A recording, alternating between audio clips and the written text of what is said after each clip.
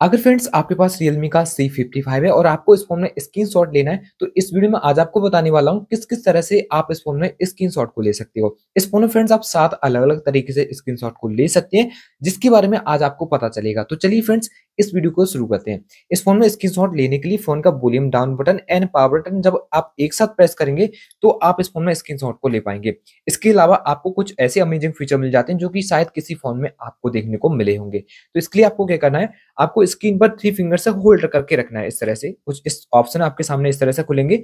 अब आप स्क्रीन को सेलेक्ट कर सकते हैं, जिस साइड का आपको स्क्रीनशॉट चाहिए। अब जैसे कि केवल इस एरिया का मुझे स्क्रीनशॉट चाहिए, मुझे इस तरह सेलेक्ट करना होगा तो ये स्क्रीनशॉट आपका बन जाएगा। इसको यहाँ क्लिक करके आप सेव करा सकते हैं। इसके अलावा गोल टाइप आप स्क्रीनशॉट भी ले सकते हैं इस फ़ोन में। तो उसके लिए फिर से स्क्रीन पर थ्री फिंगर से होल्ड कीजिए और इस ऑप्शन को सेलेक्ट कीजिए। जब आप यहाँ पर सेलेक्ट करते हैं तो यहाँ पे आपको कुछ इस तरह से इंटरफेस आएगा। अब आपको एरिया सेलेक्ट करनी है, जिस एरिया का स्क्रीनशॉट चाहिए तो ये गोल टाइप स्क्रीनशॉट आपका बन जाता है। यहाँ क्लिक करके इसको सेव कर सकते हैं। इसके अलावा आप स्क्रीनशॉट को सेलेक्ट भी कर सकते हैं, जिस एरिया का आपको स्क्रीनशॉट चाहिए तो उसके लिए फिर से स्क्रीन पर थ्री फिंगर से होल्ड कीजिए। यहाँ पे आपको ये ऑप्शन दिखेगा। यहाँ क्लिक कर लीजिए। अब किस एरिया का स्क्रीनशॉट चाहिए, आपको कुछ इस तरह से सेलेक्ट करने का ऑप्शन मिल जाता है। तो इस तरह से भी स्क्रीनशॉट हो जाएगा। यहाँ क्लिक करके इसको भी सेव कर सकते हैं। अगर आपको उस फ़ोन में लॉन्ग स्क्रीनशॉट चाहिए तो आप उसको भी बना सकते हैं। इसके लिए आपको जाना होगा लॉन्ग स्क्रीनशॉट एरिया में।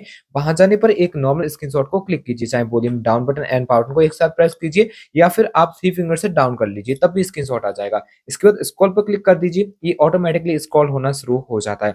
आप चाहें तो अपने हिसाब से भी इसको स्क्रॉल कर सकते हैं, जितना आपको लॉन्ग करना है और यहाँ डन कर दीजिए तो कुछ इस तरह से दिखेगा तो ये सेव आपका हो जाएगा। इसके अलावा आपका कंट्रोल पैनल रहता है, इसको आप ओपन करेंगे तो यहाँ पे भी आपको स्क्रीनशॉट का ऑप्शन अवेलेबल होगा तो यहाँ पे भी क्लिक करके आप डायरेक्टली स्क्रीनशॉट को ले सकते हो। तो इस तरह से फ्रेंड्स आप इसको अपने स्क्रीनशॉट को बना सकते हैं। आई होप आपको वीडियो काफ़ी अच्छी लगी होगी। वीडियो अच्छा लगा हो तो वीडियो को लाइक शेयर और चैनल को सब्सक्राइब करके बेल प्रेस करना ना भूलें।